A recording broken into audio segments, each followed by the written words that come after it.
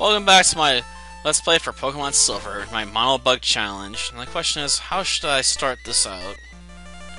Well, yeah, Flareon, so let's go.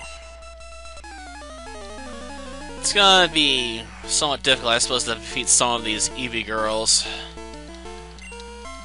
with my team, but it's alright. I'll counter with Supreme Effectiveness. Boom. Spore.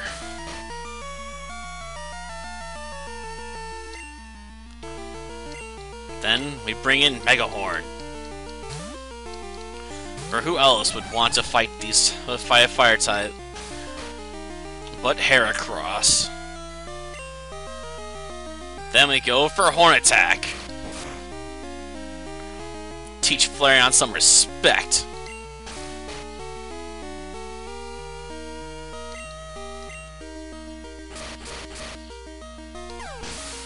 Oh yeah.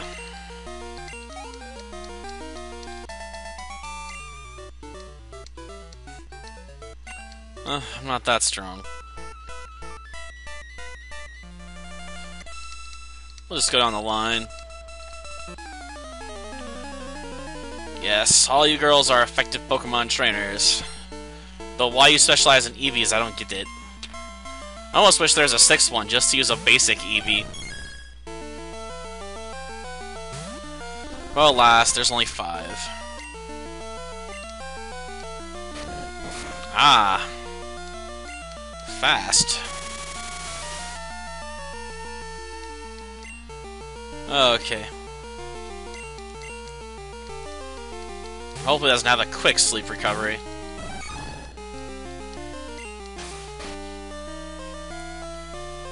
Not a fighting Dreamer, eh? How do you like that? My horn attack.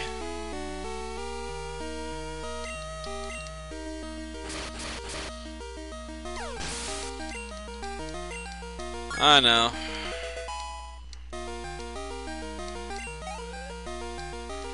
This is definitely a cheap way to approach battle. But I don't mind that. I might actually use someone other than um, Megahorn for this battle. I'll probably bring out Needle if I still have him. Or her, I can't remember what gender most of my Pokemon are half the time, because it doesn't really matter.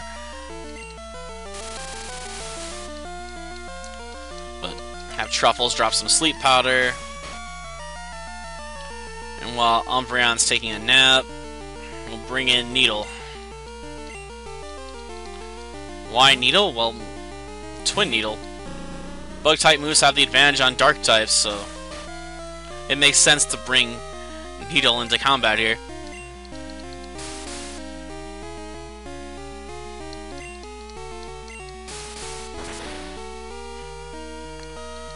Uh, Hello was almost enough to bring it down. Um, I almost wish I had brought out False Swipe first to get some level ups, but I don't want a chance to sleep, you know. And again, this is probably the best to chance that on because I can get the. I only have to worry about there being one enemy Pokemon. I can usually counter that with my team with based on size alone right now.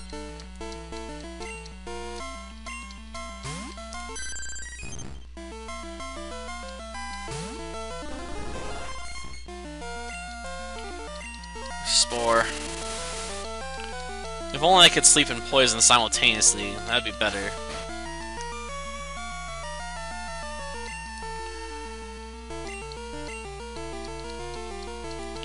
But ironically, the bug team might have the fastest time going through this area because it doesn't have any super weaknesses I can't counter with sleep powder.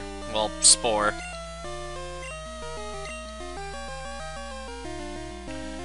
Um, I think I'll bring in Spike just cuz.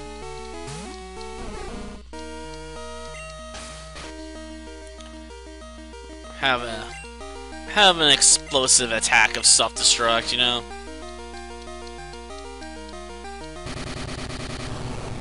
That way, if a Porygon actually gets killed, um, experience is only going to be split between two Pokemon.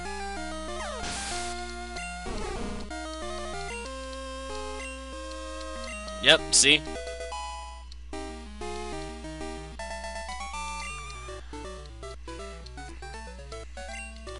Yeah, I know I'm stronger than I look.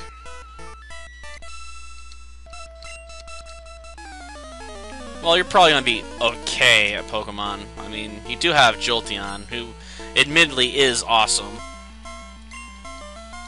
Arguably the best Eevee form around, actually.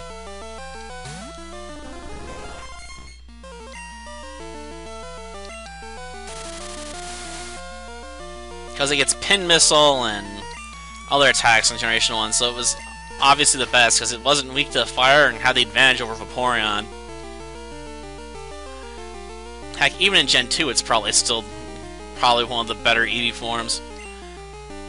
It might be a toss between Espeon and Umbreon, though, too, considering they both get healing moves, and one's Psychic, which can be quite powerful, and one's Dark, which is a Psychic killer, which you sort of need on a team anyway.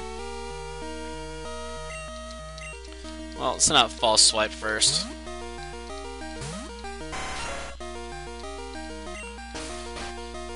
Well, can't attack. Well, I could, but false swipe's not gonna survive a counterattack, so... Now let's get Mega Horn out there.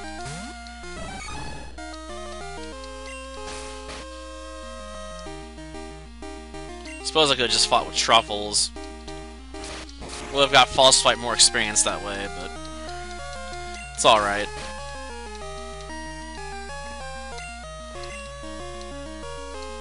You missed? How could you miss? Your target's asleep. It can't even move. Must have like Rama one Rama senses, you know.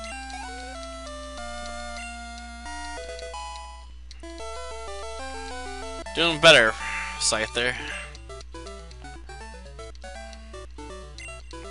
Um, I'm decent. Hi, Will, how are you? I found you useful I'm shopping, so I bought with your money. Sorry. Well, I don't know what she bought me, but... Okay. What about you, old man? Um, they're not bad.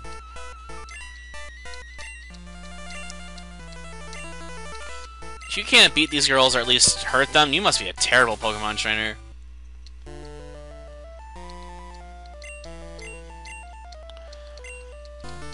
Okay. He has a Rhydon and he can't hurt them? That's just sad. Follow custom before appearing in public. Do you love something, anything is possible. Yes. Reference Japanese culture, why not? Do you have anything?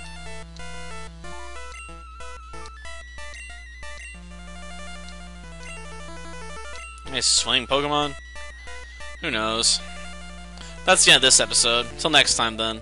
See ya.